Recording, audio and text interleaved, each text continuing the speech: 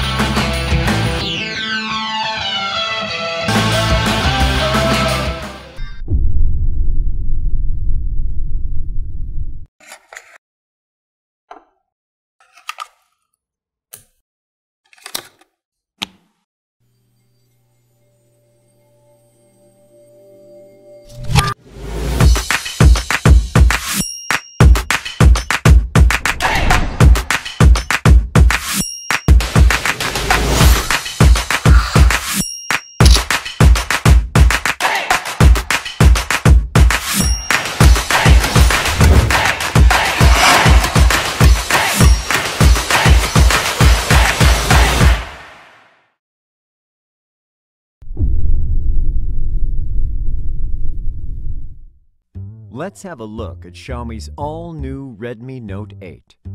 In the box, you'll find the phone itself, some instruction manuals, a basic protective case, a 10-watt charger with cable, and a SIM eject tool. Redmi Note 8 features a 6.3-inch dot-drop display with front and back Corning Gorilla Glass 5. It's built to prevent daily wear and tear. The glossy frame and the rear back cover are designed to be incredibly comfortable in hand. The fingerprint sensor is located on the middle of the rear panel. With its subtle design, it blends into the back of the device and gives the impression of a unibody rear panel, all without affecting the unlocking speed and accuracy. Other than that, Redmi Note 8 also has TUV Rheinland Eye Comfort certification, which helps protect the eyes and provide a comfortable work environment. Here you'll find four cameras, a 48 megapixel ultra high resolution wide camera, an 8 megapixel ultra wide angle camera, a 2 megapixel macro camera, and a 2 megapixel depth camera. The quad camera could basically satisfy all your needs for photography. On the front, you'll find a 13 megapixel selfie camera. On the bottom of the phone, you'll find a 3.0mm headphone jack next to a USB Type-C port that supports an 18-watt fast charge for its 4,000 mAh battery. Redmi Note 8 is powered by the Qualcomm Snapdragon 665 AIE which offers greater power efficiency and vastly improved AI performance over its predecessor. Last but not least, Redmi Note 8 offers the Auto Cleaning Speaker. It can be effective against dust, water, and low viscosity liquids. Redmi Note 8 48 megapixel quad camera all-star